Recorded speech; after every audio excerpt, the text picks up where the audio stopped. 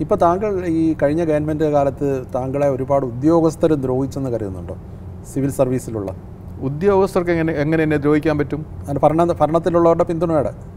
ഒരിക്കലും ഉദ്യോഗസ്ഥരെന്നെ ദ്രോഹിച്ചു എന്ന് ഞാൻ പറയാൻ പറ്റത്തില്ല. റിട്ടയർമെന്റിന് മുമ്പുള്ള അഞ്ച് വർഷക്കാലം താങ്കളെ നിരന്തരം സസ്പെൻഷനിൽ നിർത്തുക അല്ലെങ്കിൽ നിര- നിരന്തരം ബുദ്ധിമുട്ടിക്കുക ഒരു വേട്ടയാടൽ മനോഭാവം. അത് അതിന്റെ പിന്നിലുള്ളവരൊക്കെ ഇപ്പോഴും അധികാരത്തിലുണ്ടോ അതോ പുറത്തു പോയോ ഓൾ ഇന്ത്യ സർവീസ് എന്ന് പറയുന്നൊരു വകുപ്പ് ഇവിടെയുണ്ട്. ഉണ്ട് ഓൾ ഇന്ത്യ സർവീസിലുള്ള ഉദ്യോഗസ്ഥന്മാരെ സസ്പെൻഡ് ചെയ്യാനുള്ള അധികാരമൊക്കെ ആ വകുപ്പിന്റെ ഇൻചാർജ് മന്ത്രിക്ക് മാത്രമേ ഉള്ളൂ. വേറെ ആർക്കും അത് ചെയ്യാൻ പറ്റില്ല.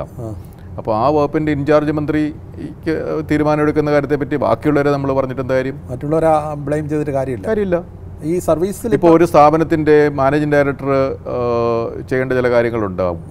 അപ്പം ആ സ്ഥാപനത്തിന്റെ അത് വേറൊരു സ്ഥാപനത്തിലെ എന്തെങ്കിലും കാര്യത്തിന് അതിന്റെ പറഞ്ഞിട്ട് കാര്യമുണ്ടോ? ഈ സ്ഥാപനത്തിന്റെ അല്ല ഈ വകുപ്പിന്റെ ഇൻചാർജാണ് അതിന്റെ ഉത്തരവാദി.